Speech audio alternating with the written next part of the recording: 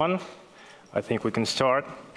Um, my name is Vasily Shishkin. Uh, I'm an orthopedic surgeon, but I use Blender in my daily practice.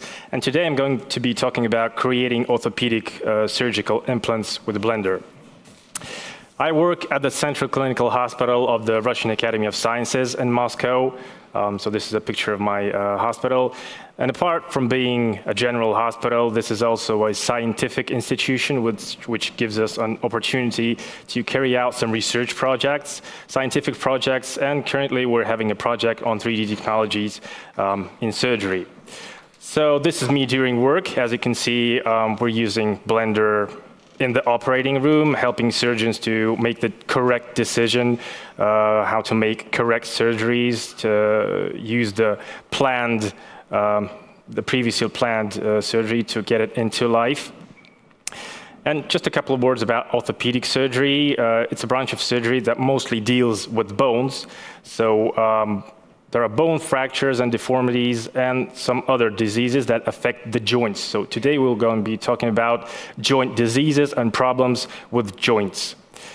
Usually when there's a problem in a joint, in any joint uh, in the human organism, um, eventually the person comes to a joint replacement surgery. A joint gets replaced by a metallic structure that uh, takes the function onto it, and uh, in that way it reduces the pain and gives some and mobility to the joint.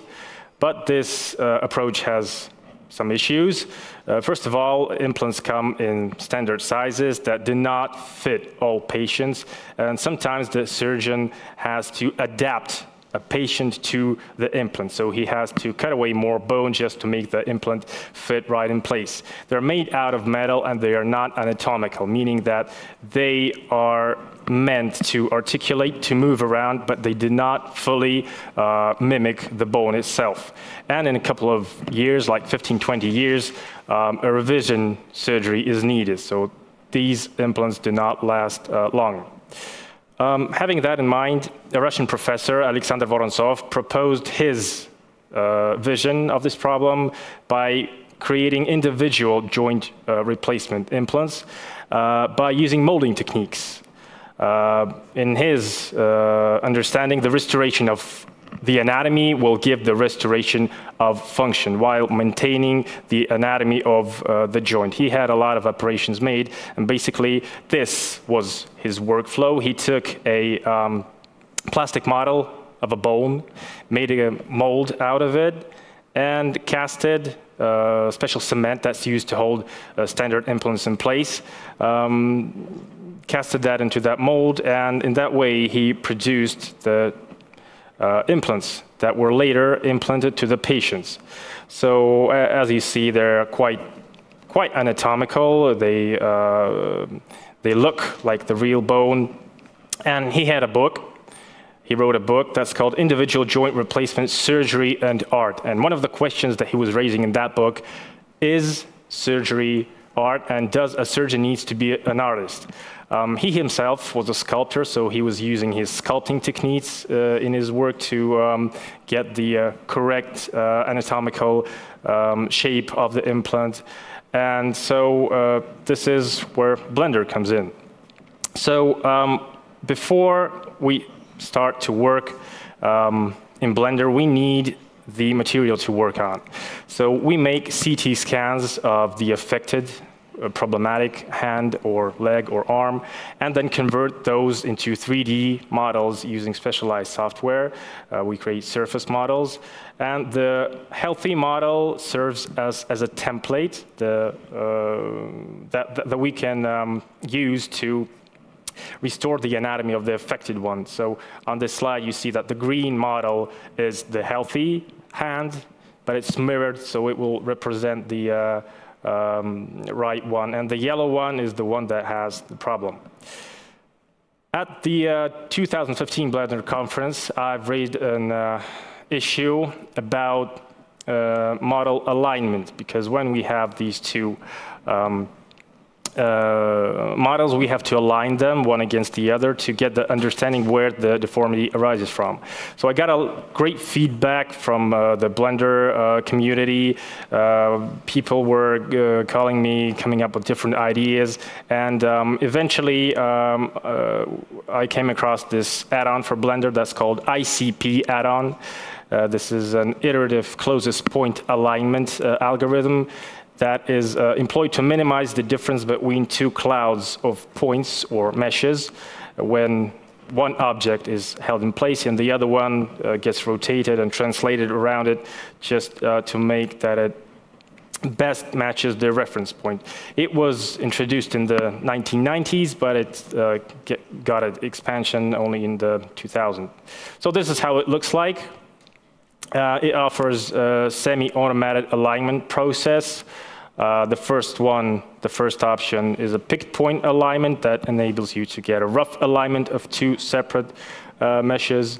And the other one is the ICP alignment. Uh, this algorithm uh, was written by Patrick Moore. He's a dentist himself, and so he um, uh, met the same problems that I had during planning uh, surgery. So I've included the link on the GitHub so you can go and check it out. And so this is how it works. The first uh, step, the picked point alignment, you have two models, and you just select the corresponding uh, points on each model in order to uh, uh snap them together. So this is a video showing this process.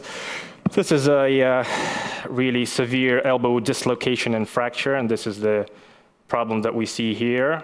The bone is fractured. So we, we made a CT scan. We uh, took the healthy bone that's shown in green, and we need to align the green one to the yellow one. So we um, select both of them, select the pick point alignment thing, uh, zoom in, and we just need to pick the points uh, that we know that are not touched by the deformity, that are healthy. So usually three points are enough, but the more the better. So you just select them, hit enter, and it just snaps one over the other. This is quite rough, but you still get an understanding that the problem is somewhere around the elbow joint, but it needs a bit of a fine tuning. So this is um, the next step to be done, uh, implementing the algorithm itself. So uh, what you do is use weight painting to select the region that is relatively healthy on each of the models, on the affected one and the um, healthy one. And after that, you execute the algorithm. And the algorithm itself finds the way to align those bowls in a uh, really um, sophisticated manner. You see that it's moving one model over the other. And you can see that the blue thing sticking out is uh, the what the implant should look like, the replacement implant. So this is the correct size and the correct shape of the implant to be uh, made for this um, patient. So um, the possible areas of this algorithm of use includes dentistry, uh, some facial reconstructive surgery, but basically any uh, area that needs to align one thing to the other, architecture, 3D scanning, anything. So I encourage you to uh, check out the um, GitHub link and have a look at that uh, algorithm. That's pretty interesting. Now the next thing to do after we have defined the thing that we, um, the shape and the form of the implant, we need to uh, somehow produce it. And here we come to 3D printing. Unfortunately, we do not have uh, materials yet that could, can be um, implanted inside the body of the patient. So we're um, heading back to uh, the professor who made the casting thing. So we need to make a mold. Now I've made some research um, around the web, and I found the guy that already did this, but he was working with brain. So he, they 3D printed a brain model, then uh, made a mold out of it, a scaled model, made some casting. Uh, but the story had a kind of weird ending because in the end, the, the guy just ate his brain. Um, I guess this was the whole point of this scientific um, research. But nevertheless, this was a proof of concept for me that this um, could be done. And, uh, but instead of printing a model and making a mold out of it in real life, I decided that a mold could be made in Blender, but that was relatively uh, simple. So uh, the model was just taken and using Boolean operations and some primitives, uh, a, bowl, uh, a, mold was created and then uh, printed out. Um, now for some uh, clinical cases, there will be some pictures of surgery. So if anyone's not feeling comfortable watching blood, you can just close your eyes for a moment.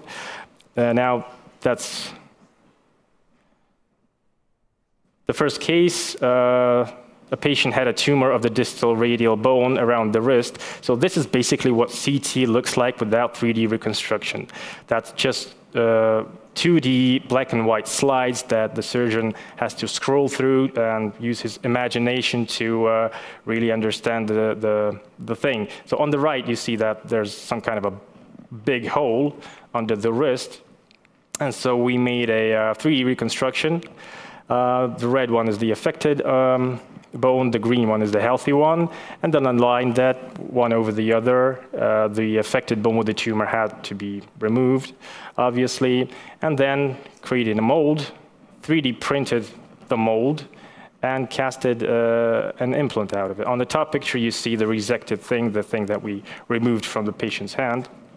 And this is the surgery, the implant positioning it snapped right in just as it was there and uh, had a tight fit. This is the post-operative x-ray showing good um, alignment. And this is the functional result. The patient may not have the best flexion and extension of his uh, hand, but he gained strength. He was a car mechanic. Yeah, so he was able to get back to work, uh, and so he was happy about it. Now the other clinical case, a severe elbow fracture, the comminuted fracture of both forearm bones. We made a 3D reconstruction. Um, if you're looking at this and thinking that uh, you don't really understand what this thing is, you're not the only one, because uh, a lot of surgeons that make X-rays, make CT, uh, do not have the full information about the, the thing, and they found out so, some interesting things during surgery. So this uh, thing has to be really carefully planned. So we made a mold in Blender when we modeled a fixation stamp to hold the implant in place, tried the surgery uh, uh virtually, then we printed the uh, mold and casted the prosthesis. So we use approved surgical cement. In this case, it was a specific cement that's non-toxic, bone-like, and it integrates into bone. And um, we use this stem that was made out of biodegradable plastic that dissolves through time. And so in a couple of years, the patient just ends up with the uh, implant held in place without that uh, plastic stem. So this is the comparison of the bone that was removed with, from the patient with the uh, uh, created implant. As you can see, the bone does not have a really um, really even shape. It's kind of oval, triangular-like thing, but it, the implant fully restores that. This is the X-ray. Um, unfortunately, the implant is not uh, visible on X-ray, but you can see the space where it's uh, positioned. And this is the most interesting part the thing works. This is the rotation inside the elbow. We've tried, uh, tried that uh, during surgery, and it works fine. The patient, in one month, had good function of the elbow, flexing, extending, rotating. She's 74 years old. She was able to get back to her normal life and was not disabled. So uh, creation of individual surgical implants uh, give the surgeon a better understanding of the problem, restores anatomy of the bones, enhances precision of surgery, and gives uh, good functional results. But we've run into some issues and those are related to segmentation issues. Segmentation is the transformation of 2D CT slice, slices um, into the 3D, 3D, model. Usually it's made, it's performed in a uh, external software such as Slicer, InVesalius, and a couple of more. It takes up time and gives out a big STL file that's really uh, hard to work with, but it uses the uh, algorithm that's called marching cubes. Now, there is a possibility of visualizing DICOM in Blender. Uh, I've made this myself, I've talked to people doing this, but apart from visualization, you cannot do nothing more about it. You can just scroll th through slices, have a look at them, but we need a 3D model. I've run across a uh, marching cubes algorithm that was uh, made for Blender. There's the link below. But unfortunately, I didn't have the opportunity to get it uh, work correctly. So I'm calling out for help. Uh, if anyone knows how to get this thing work, or maybe has any other suggestions on solving this problem, please get in contact with me. I'll be here around the conference, and I'll have my contact details below. Um, so hopefully the solution of this problem will get us one step closer to creating a fully functional um, surgical orthopedic uh, add-on for Blender. Thank you for your attention.